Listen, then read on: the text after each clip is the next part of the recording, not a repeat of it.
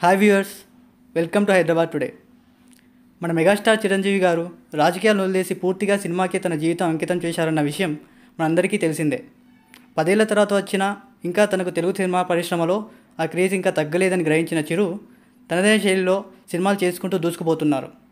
ఖైదీ number one ఫిఫ్టీతో boss is back అనిపించుకొని సైరా నరసింహారెడ్డి సినిమాతో తన సత్తా ఏంటో చాటి చెప్పిన చిరు ఇప్పుడు వైవిధ్యమైన సినిమాలకు పెట్టింది పేరుగా నిలుస్తున్న కొరటాల శివ దర్శకత్వంలో ఆచార్య అనే సినిమా చేస్తున్నారు. అయితే ఇటీవల మనకు అందుతున్న సమాచారం ప్రకారం తమిళ్ళో అజిత్ నటించిన వేదాలం సినిమాను రీమేక్ చేస్తున్నాడట.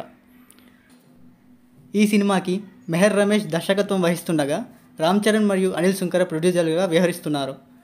ఈ సినిమా రెండు వేల ఇరవై రెండు సంక్రాంతికి విడుదలయ్యే అవకాశాలు చాలా ఉన్నాయి. మరెన్నో అప్డేట్స్ కోసం ఈ వీడియోని లైక్ చేసి సబ్స్క్రైబ్ చేసుకోండి.